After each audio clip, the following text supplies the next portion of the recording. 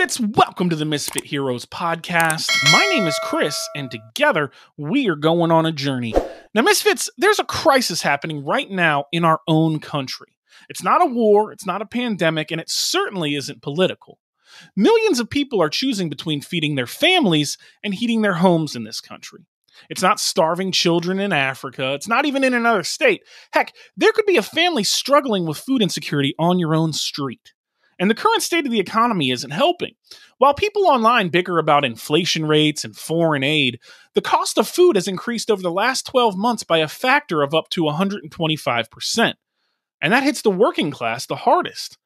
Remember during the pandemic when all those actors and actresses they got together and they sang that fancy rendition of Imagine by the Beatles?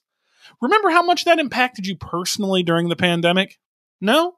Well, contrary to that deeply moving song, with no disrespect to my girl Gal Gadot, there have been artists gathering together for nearly 20 years to end the food insecurity issue at its core. And Justin Levy has been there nearly the whole time.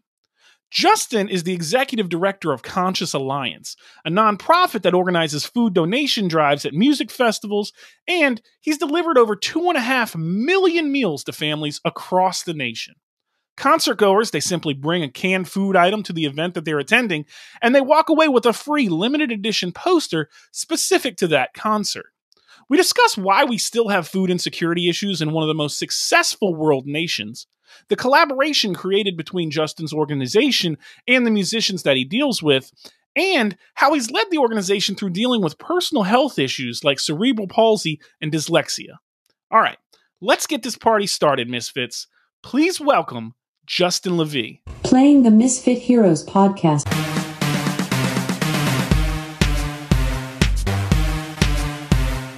Welcome to the podcast. How are you doing this afternoon? I'm so good. Thanks for having me. Yeah, man. Thank you for coming on. Thank you for taking the time to do this. I know you're a busy guy. I know you've been going out through a lot.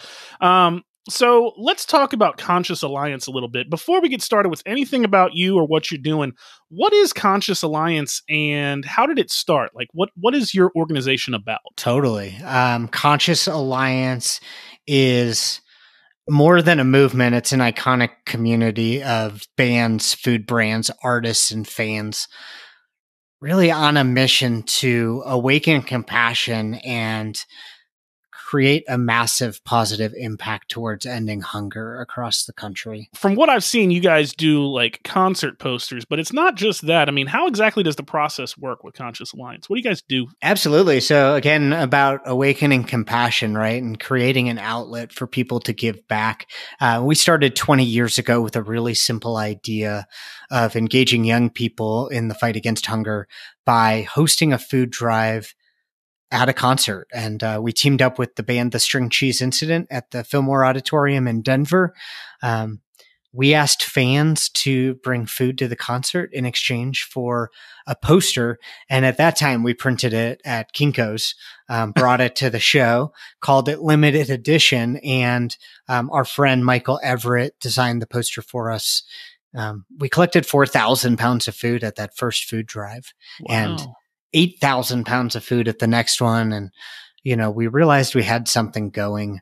Um, and from there, Conscious Alliance was born. These are like limited custom posters. These aren't, uh, these aren't like the same ones you can like buy at the show, right? This is like a custom work of art, right? To- totally. And, um, like I said, the first one was printed at Kinko's.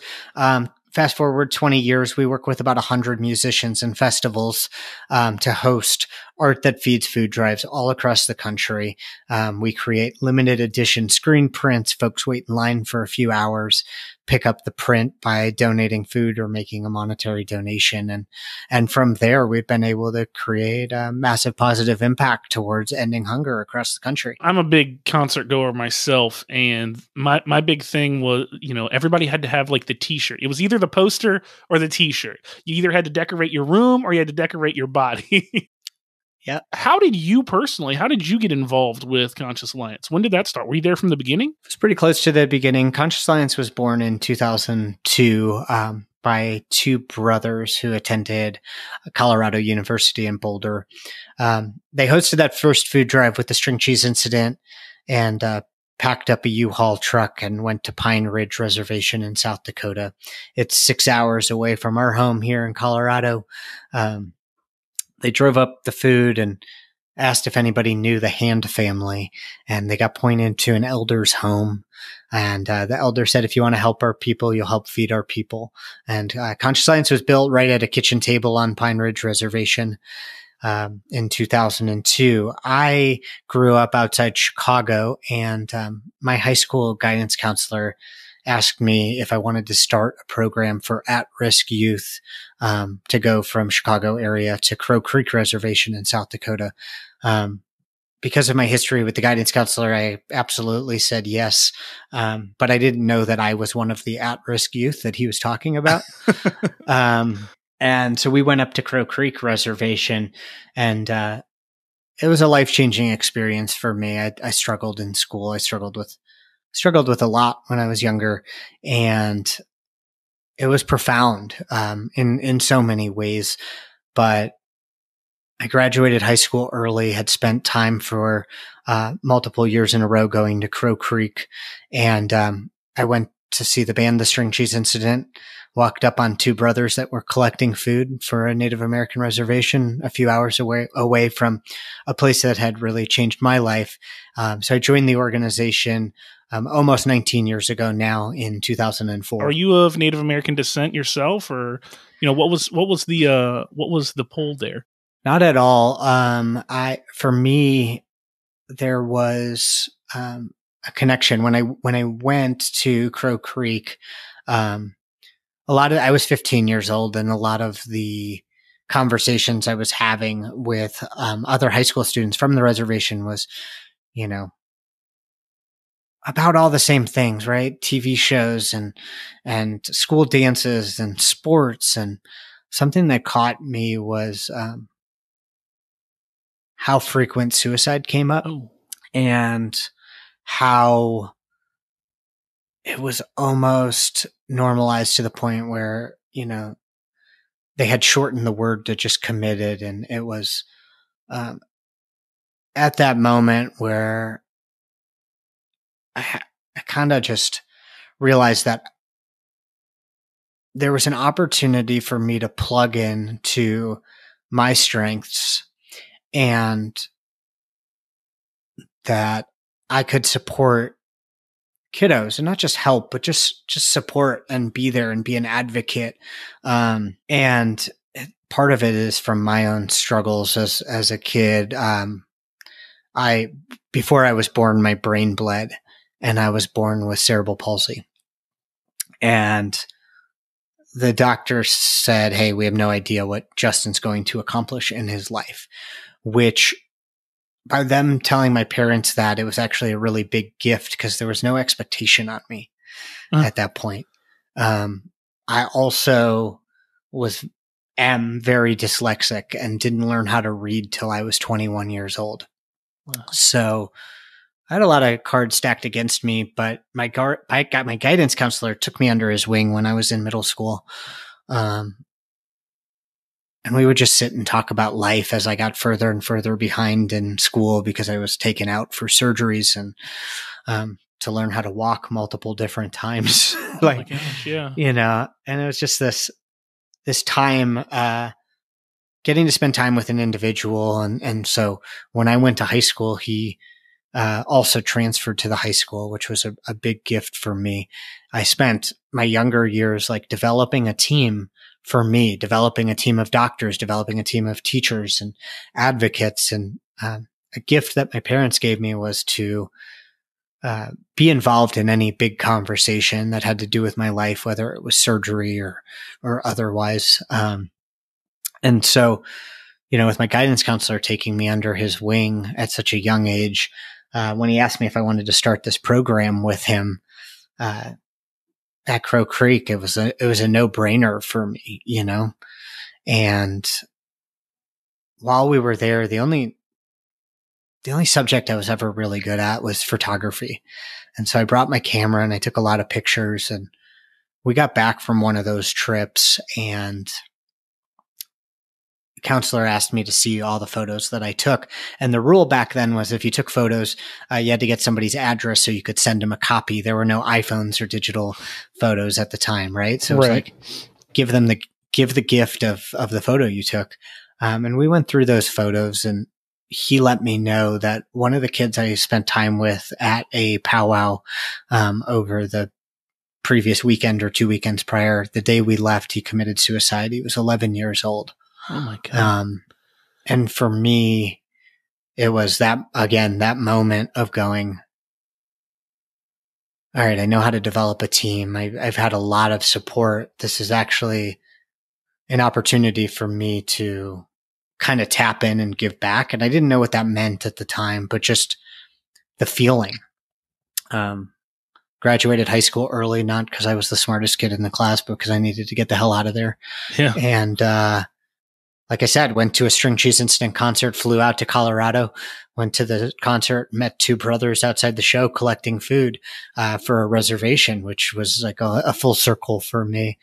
Um, I, I dove in and here we are almost 19 yeah. years later. Well, the rest is history, right? Uh, the rest is an uphill battle with uh, some amazing moments. the yeah. I mean, you know that that's that's that's a journey right there. You know, before we get into like how you're helping others and everything like that, I mean, what has that struggle been like? You know, I, I, I saw that you had to relearn to walk like three or four times. Is that right? yeah, yeah. I went through multiple surgeries, uh, spinal surgery, leg surgery, all the all the things. Um, what has it been? It's been um, incredibly challenging. It's been heartbreaking. It's been um, the greatest gift I could ever ask for. Right? It's like it's what made me me. It's uh, what what gave me uh, determination. It's what gave me grit and uh, compassion for other people. Um, it created an opportunity for me to understand, uh, although I have some weaknesses or maybe some disadvantages and some struggles. Um, the opposite side of that coin is, like I said, I, I learned how to develop teams. I learned how to like pick the skills out of people and, and like let them do what they're really good at and shine. And, um, I've, I've gotten to turn that into, you know, uh, transforming an organization with the, with the goal of feeding as many kids and families across the country and turning it into millions of meals a year. But it's, uh, it's the same struggle that allows the opportunity. Well, I mean, it really just amazes me what you've done. You know, being you're the executive director for Conscious Alliance. I mean, I, I'm in the process of starting a nonprofit myself, and the legalese and the reading and, and making sure line by line everything is so 100% perfect and all the i's are crossed and all the t's are dotted think i got that backwards but um but gotcha. you know like i mean that's that's got to be a lot i mean what is your day to day like? I mean, how, how do you how do you manage the ongoings of a nonprofit with that? I think if we truly want to solve the world's problems and um, create a compassionate environment, it's about hiring the absolute best um, team we can, right? And how do I do it from a day to day standpoint? Um, I have 95% of my emails read to me at 400 words per minute through software. Nice. Um, I have every contract uh, read to me with a robot voice that goes faster than most people could understand, but that's like, I'm, I'm able to pick it up because my auditory learning is Yeah. great, you know. Um,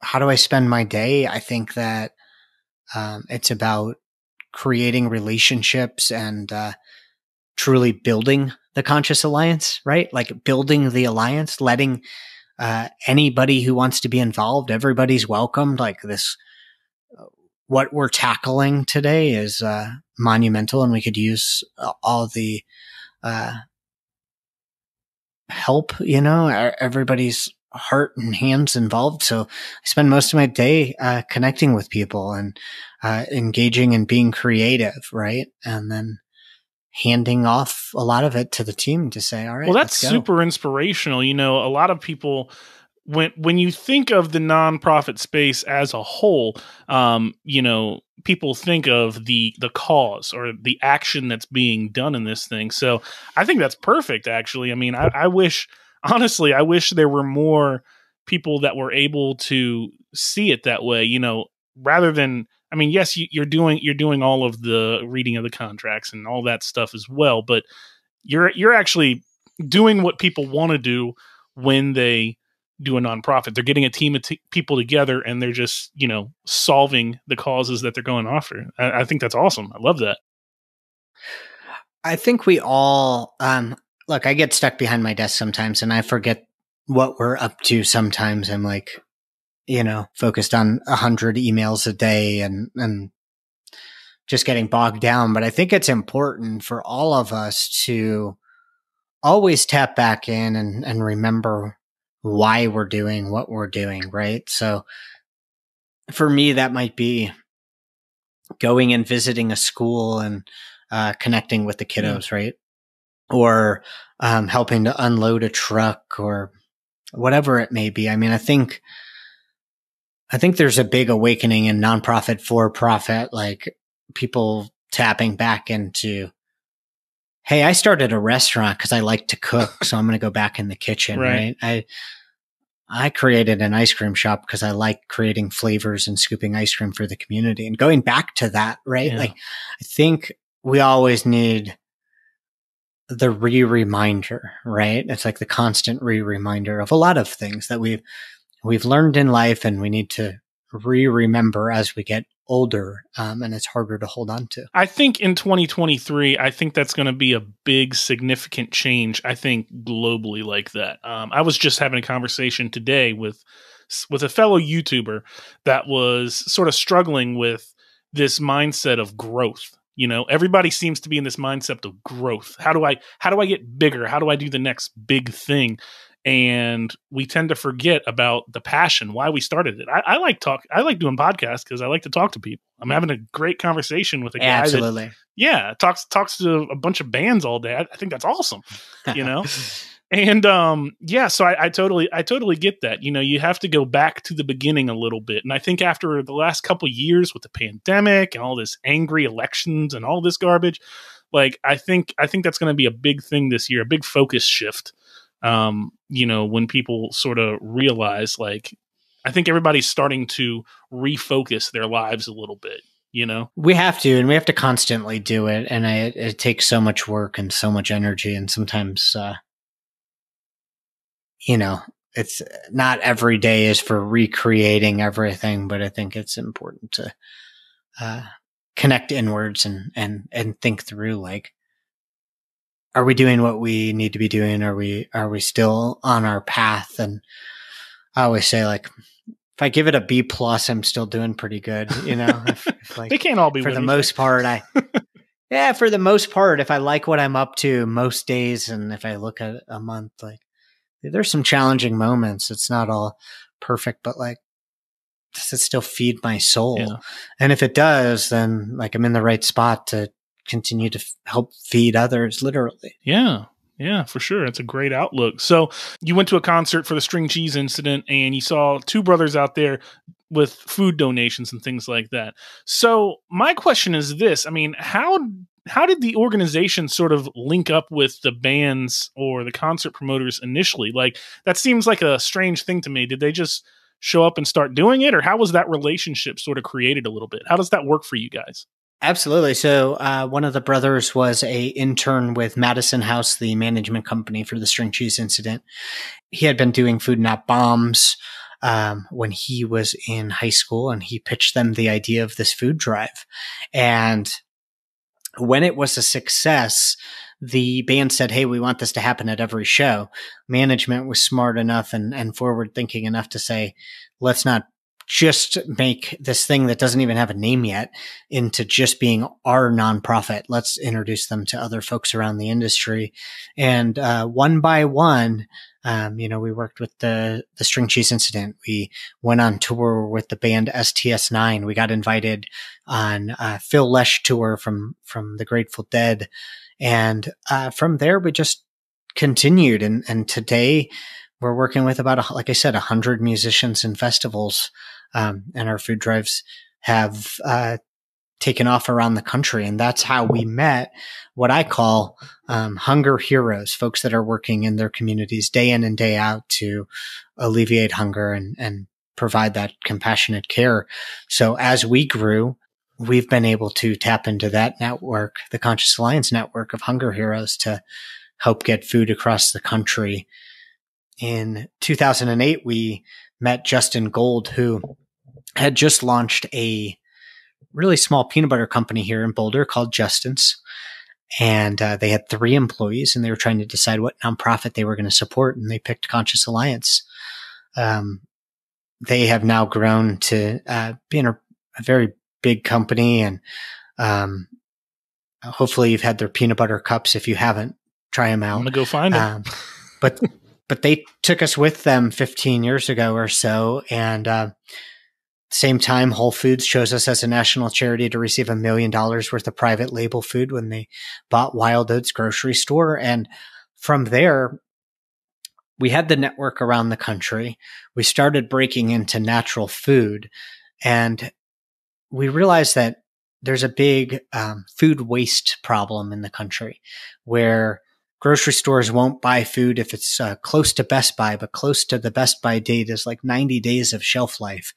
And so we started taking all of our touring and logistics experience, routing semi trucks and picking up food from now about 85 different brands, um, stopping their food from going into the landfill and moving it to our partners across the country um, to affect hunger nationally.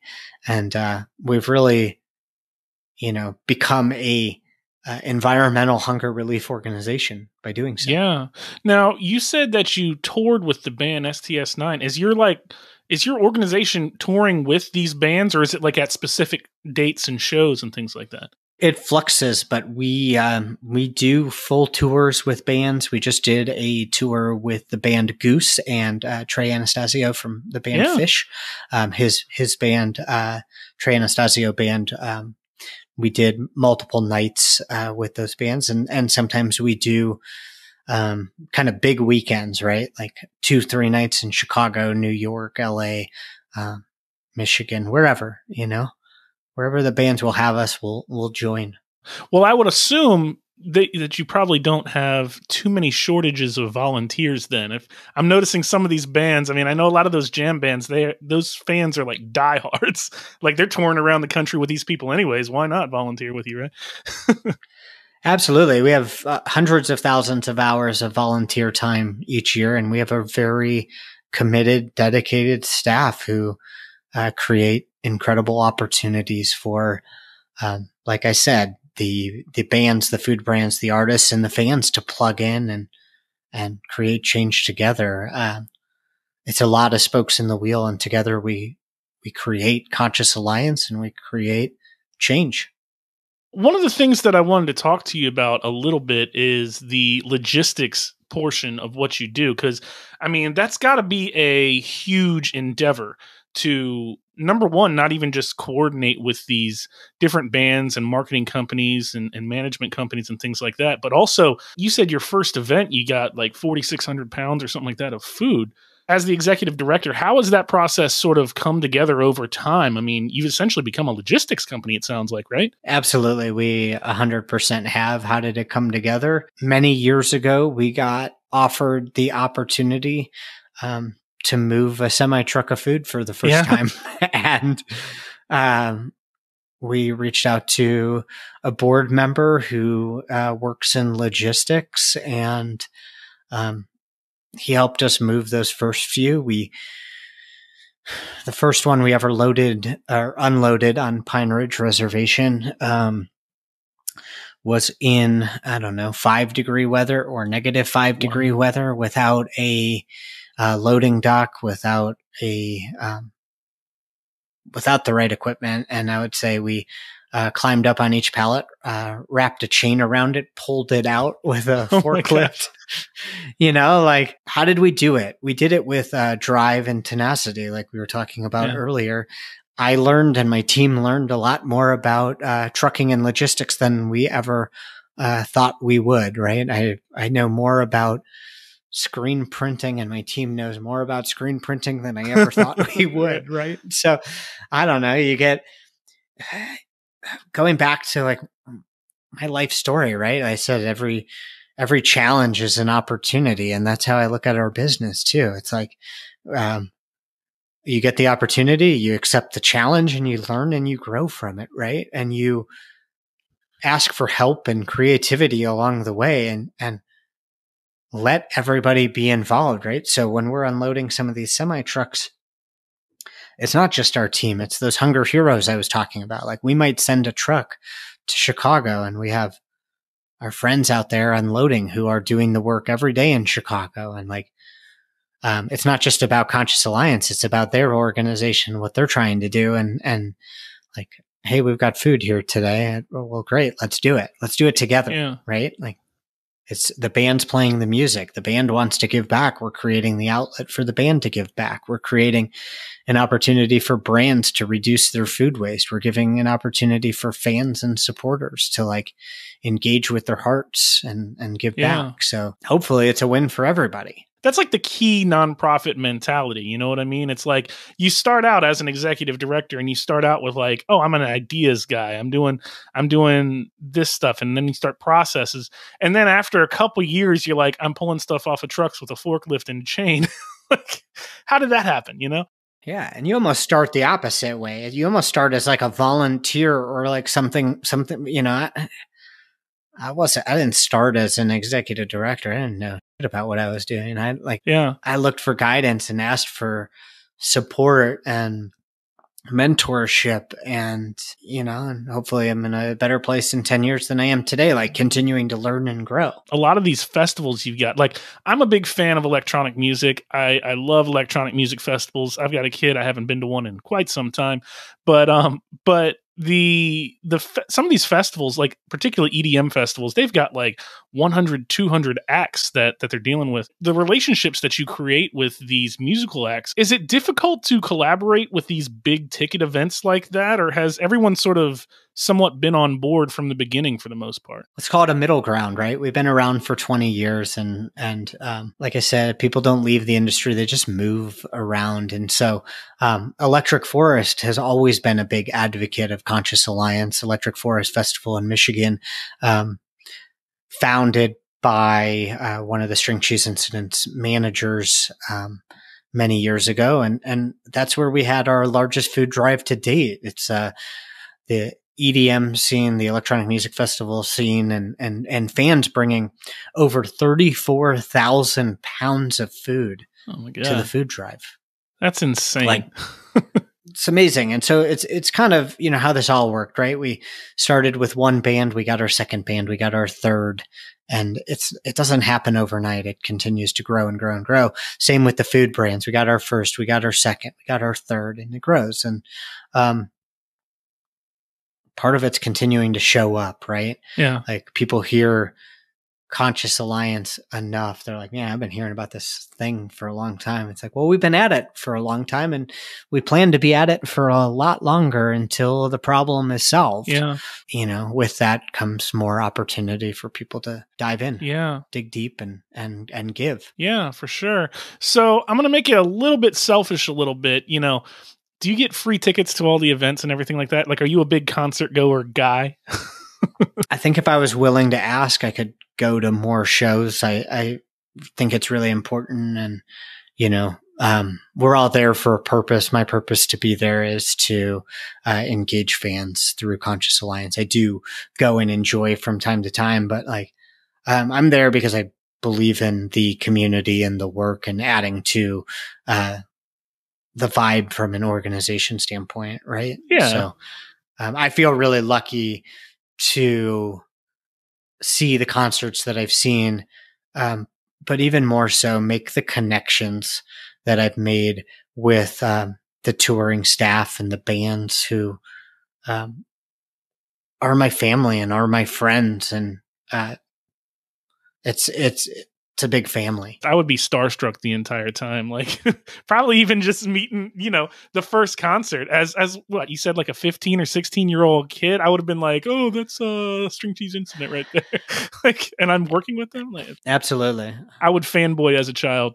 I don't know. Maybe that's the gift of my dyslexia is like not always knowing who people are and just meeting people where they're at and being like, oh, cool. You made me laugh. Or like, I appreciated the conversation. I don't, you know, at the end of the day, um, we're all just humans. We're all doing our best and uh, we're all giving in a way that we can at the time. Right. That's pretty cool. It's it's a great outlook to have. I think it's it's just very impressive that you guys are building that community with direct contact with people. Not a lot of people have that. A lot of a lot of nonprofits are like, "Hey, donate, donate, donate, donate," but they don't have that real world in person interaction. And it looks like, from what I see, um, you know, people are pleased to bring these things to you. I see, I see, like with the electric uh, the electric forest festival thing for example it looks like people were coming ready to give that stuff to you. They knew about it beforehand. They had that sort of going. Oh yeah they traveled with it. Yeah. you know, they they stopped at the grocery store uh, right outside the festival to pick it up and it's huge. I mean i i still am in awe every time i see a fan walking across like uh the field or across the stage with 40 cans of food or 20 cans of food, right? Or, or walking up the stairs of Red Rocks Amphitheater with 20 pounds of food in their backpack. Like, wow, right? Like, I, I'm still amazed and, and enamored by uh, the support that we get. The last couple years, I mean, we we have we've had COVID. Um, live events haven't really been huge, and also, um, you know, concerts normally happen during the summertime. They don't generally happen during the wintertime. So, what is it like outside of concert season for you guys? Like, I mean, does it slow down and how do you guys continue to bring in that food? 15, 16 years ago, it slowed down. It doesn't, um, we're really lucky it doesn't slow down um, for us as much anymore. Um, they now call it, uh, they call October Rocktober. and, uh, you know, we, we ended the year with uh, 12 different concerts around the country. Uh, we ended 2022 that way. And um, our team just flew out today um, for a gig uh, to start 2023. So we've got the concerts going. Um, you know, 2020, 2021, there were not as many uh, concerts happening. And um, we did a real big shift. We started uh, working with restaurants to offer um, prepared meals from restaurants, keeping restaurants um, open and employed, and and uh, we found ourselves uniquely positioned to help support gig workers. We had um, weekly meal distributions to stage crews, sound crews, the security guards, like folks that are the real heartbeat of the music industry, the ones that make the music happen. Yeah. Um, we were lucky enough to be the beneficiary of a lot of uh, live stream concerts that happened, you know. Yeah. But we found ourselves in a position of supporting folks who helped us build our brand, and and that was really heartbreaking, amazing that we could be there. We were, were honored to to be kind of the comfort zone for um, gig workers in that way, but it was really tough, you know. Yeah. Uh, watching friends, watching colleagues, watching families, uh, in addition to all the folks who we continue to support each day. It was a, it was an added, added demographic on top of it. And I'm proud of our team for what we did, you know, what we continue to do. Um, music is the, the driving force be- behind our fan base. And it's, uh, they provide the opportunity for us to pick up semi trucks of food from natural food companies literally every day. So um, it's this really great symbiotic relationship between the natural food world and uh, the music industry. It was really pretty crazy seeing that because that's like an entire industry that just ground down to a halt.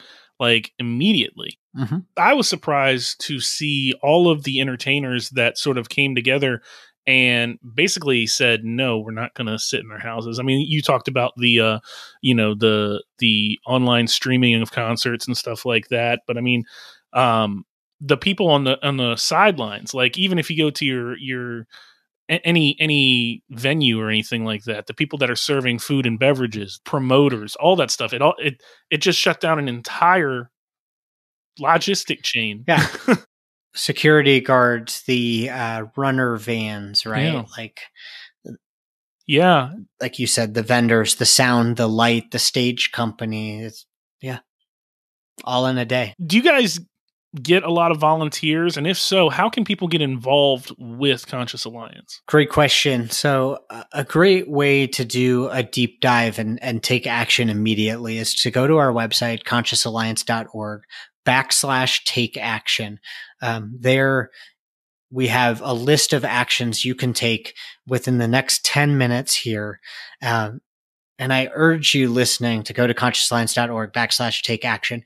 If you participate in three of those actions, um, while on your phone, while on your tablet or at your desk, uh, you get entered to win two tickets to any one uh, Red Rock concert in 2023. Oh. So, um, by learning more about Conscious Alliance, by taking action towards uh, ending hunger today, um, you may wind up in Colorado for an amazing concert. sweet well we'll make sure to put all that information down in the show notes below um, go check them out you could get a free concert ticket too you mentioned that you've created all of these relationships with bands and artists and everything like that who's been your favorite musical act to work with or do you not want to Oh say man, um, I I don't know that I can actually um, pick one. There have been so many concerts and memories along the way. It's not even about not wanting to say. I just like I'm I'm flooded with um, all of these memories, but really I'm flooded with that sentiment of like, wow, when people are willing to donate their talents to uh, make a difference in the world because I don't I don't think anyone's obligated to, and I think it's amazing um, that multiple industries and multiple generations of people are coming together um, to make sure that no kid goes hungry. Right, that's the ultimate goal. yeah And um, I don't know. I think I could like pick one, and then next week, like another show will happen, and I'll change my mind. But you know, um, some of those early days of of uh, going on the road with the string cheese incident um, during Hurricane Katrina, and going on the road with STS nine through the southeast, and um, my my passion for music and my my passion for the work uh, really still propels me today. yeah so you're a big jam band guy huh I am, yeah. We're we're nestled right here in Colorado, and it's uh, no stranger i'm sure. No stranger. Yeah, so you know we talked a little bit earlier you know these are like semi semi truck pulls. I think you said you've delivered over like 2.6 million meals? What's been the biggest haul at one of these events? Like have you have you ever had to have Yeah. like two semi trucks Well, I think it's amazing uh, right now that like you know what started with um, collecting our first barrel full of food or our first two barrels full of food has now turned into um, over two million meals delivered annually. Right? You know, we went from boxes and barrels and stuff to, like I said, semi trucks moving daily. Um, brands donating daily, bands donating daily. And um, I mean, Electric Forest was our biggest ever with 34,000 pounds of food collected. Um, that's um, a, a full semi truck, a full 53 foot trailer full of food Wow. at the end of the weekend. Um, but you know, now we're working with uh, gig workers, music industry to produce uh, live events where we have 1,500 cars drive through to get a Thanksgiving meal, wow you know, all in three hours. So again, leveraging people's talents, bringing semi trucks of food in and uh, giving it away pretty quickly. Well, that's amazing. You know, one one of the other things that I wanted to talk to you about is the need for your organization as a whole. You know, um, why do you think that there are so many food insecurity issues if we are the world's most prominent country for the most part? We're we're one of the most prominent first world nations.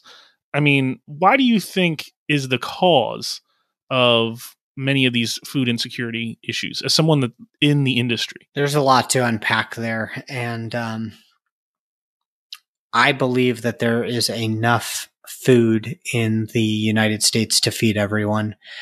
And it's a distribution or redistribution issue. I think that um, cost of living is going up, cost of groceries are going up, and uh, you know what what we've been seeing is that not the number one group that needs food assistance, but one of the largest growing numbers of folks that need food assistance are a family of four with two parents working 40 hours a week with two kids. And so just doesn't yeah. go as far as it, it used to. And um, it's putting folks in a really hard spot to decide uh, whether to heat their homes, feed their kids. We're recording this in January of, of 2023. And I mean, just two months ago, a carton of eggs has increased in price. I want to say like 75%. it's it, it's it's crazy. And then you have, you know, food shortages and things like that. It just doesn't seem like we should be having this issue with as well off as we are compared to the rest of the world. I think one thing the pandemic showed us and us as Conscious Alliance, but really like people across the country is that um, hunger is closer to home than maybe we thought. Um, hunger affects uh, kiddos and families in every single community across the country, from cities to rural areas to everywhere. Yeah, yeah, uh, down the street from us, right? Like it's it's not this far off problem, but our neighbors, our our friends, our kids' friends, uh, folks we work with, folks we go to school with, whatever whatever our situation is. It's uh, the pandemic really showed that hunger affects folks everywhere. Well, you've been with this organization for a long time, and you know you've seen it grow a lot in your time there, I'm sure. So, if you had one piece of advice for somebody that wanted to tackle like a big need like this, I mean, food insecurity is a huge need. So, if somebody had a big need like that that they saw that they could help somebody with, what do you think one piece of advice for that person would be? For me, it's really simple. Um, first, never put a ceiling on what's possible. The second is no action is too small. So take action. Do something. Start somewhere. That's it. Take the first step. The first step is the hardest one, right? Followed by many more after that, but take them. Yeah. Right? Like yeah, for sure. Well, I know you mentioned before the the website, you know, how can people find out more? Can you give me that website again? And if you had one key takeaway from this episode, what do you think that would be? What do you want people to know? First, uh, go to consciousalliance.org backslash take action. Um, second, like I just like I just said, like no action is too small. Um, I think we could all use uh, more compassion towards ourselves, towards our neighbors, and uh, we all have something to give. Um, we all have struggles, and we all have talents, and uh, let's use all of that for good. We're winding down towards the end of the episode. At the end of every single show, I ask all my guests the same question. And don't worry, you're going to be a deer in the headlights because I didn't prepare you for it at all. But it's this, and it's a big one. So there's always like a pause. Don't worry what was the last goal that you completed and what's the next goal that you want to set for yourself? The last goal I completed for myself was today when I said I want to move my body. Um, when I got on the treadmill and I, I moved my body. Like I think it's really important every day, um, to move. And, uh, my goal, my next goal is that that was the second part of that. Mm-hmm. My next goal is to uh, move the completion of my first goal into tomorrow and and do the same thing. All right. Truly. Sweet. So are you a big workout guy? No, I'm not. And I, I do it regularly, but no, I'm not. I just, I find it critically important. Um, for me having cerebral palsy, like I have to move my body. It's part of my maintenance. It's part of managing stress for me. I'm, I'm amazing at it because I do it, but the reality is I'm not great at it, right? Like we just have to do it. Yeah. Um, and it's something that I fall out of practice on frequently. And I can feel it in my body. I can feel it in my mind. I can feel it in my heart. Like, uh, and I, it takes constant practice and it's just something to point to, to say, Hey, repetition helps. And, uh, taking that knowledge and moving it forward into other aspects of life, I think is important. And we could all all use like support in managing stress and um, we've only got one body so let's be good to it if we can For sure. Well, trust me, it happens to the best of us. Your boy's been trying to work out for about a month. There was no new year, new you for me. me neither me neither i was like uh, new year you're stuck with me i'm i'm the same you know I'm gonna focus on new week, new me. I'm gonna I'm gonna I'm gonna get Yeah. to that point first, and then you know we'll be solid. honestly i'd go i'd go new day you know like sometimes we just need to restart Awesome, man. Well, Justin, this has been a lot of fun. I really enjoyed talking to you. You know, Conscious Alliance, I think your organization is just phenomenal. I really like what you guys are doing. And I'm really impressed with your perseverance and your personal sort of um, interaction with with the organization. I think it's I think it's very inspirational going through what you've gone through and then basically helping grow this organization in the way that you have. I think it's just a, a beautiful thing. So I, I look forward to seeing what's coming for you in the future, man. I really appreciate it. Thanks for giving us the platform to share about Conscious Alliance and um, elevating our voice. I really appreciate it. Yeah, for sure. Well, I'm going to go ahead and wrap this guy up. Misfits, like I said, all of the show notes are down below. They've got links to all their stuff for Conscious Alliance. You can check them out on pretty much any platform you want to. And thanks again for listening. Have a great afternoon. Well, Misfits, we did it. That's our episode. As always, I want to thank you so much for listening, and thanks again to our sponsors. If you want to support any of the sponsors of this podcast, there are affiliate links on the sponsors tab of our website over at www.misfit-heroes.com. You can also find links to all of our social media there, so be sure to follow us for immediate up-to-date info about the podcast. Please, if you enjoy this podcast and you want to help me out, do me a favor.